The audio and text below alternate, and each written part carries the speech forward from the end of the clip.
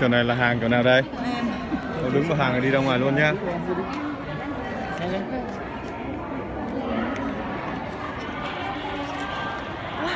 Ông kia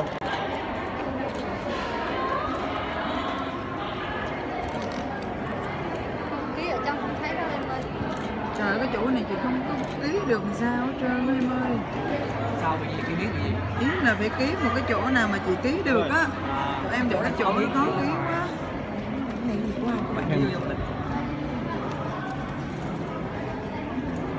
lên đi bạn xin xin Ông kia Ông ơi tôi bước ra ngoài. Đi bước ra ngoài. Trời ơi nói chuyện lịch sự anh ơi. Không có gì đâu anh. Anh ơi anh. Giờ mới nói chuyện ngoan đâu gì